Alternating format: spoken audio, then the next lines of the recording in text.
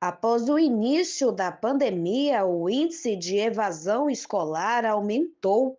De acordo com a Secretaria de Estado da Educação, do Esporte e da Cultura, SEDUC, 5 milhões de crianças e adolescentes do país entre 6 e 17 anos estavam fora das salas de aula. Em meio à pandemia, que nós tivemos dois anos, não é, escolas fechadas, então esse quadro de abandono, de evasão escolar, ele se agravou bastante, as famílias estavam distantes da escola. Mesmo com o sonho de ingressar na universidade, muitos jovens não têm exemplo ou apoio familiar.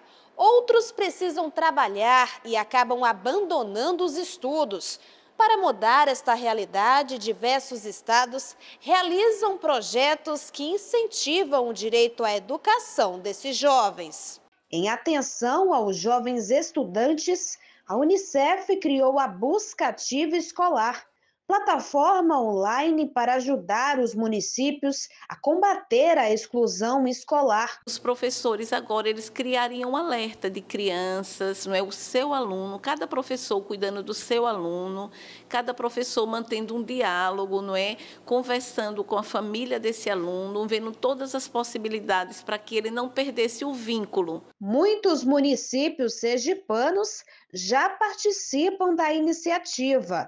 A ideia é que os professores fiquem atentos ao comportamento dos alunos e até a falta de interesse nos estudos. A criança que está matriculada na escola, ela é olhada pelo professor.